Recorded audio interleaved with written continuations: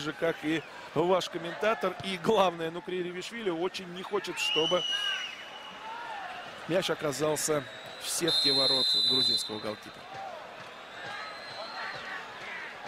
Гаджи Гаджиева, судя по всему, не менее важно, чем для Ревишвили, чтобы его команда сегодня выиграла сухим счетом. Тем более, что идет уже 90-я минута встречи. Ну, вот это, ребята, зря.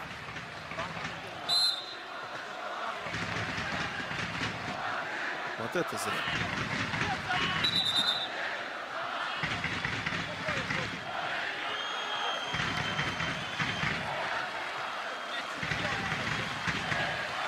Да.